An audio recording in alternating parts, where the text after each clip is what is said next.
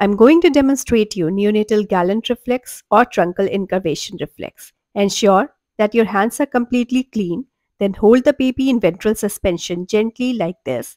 Stroke lightly down the back on one side of the spine. The normal response is for the newborn to curve the spine strongly with concavity towards the stimulated side.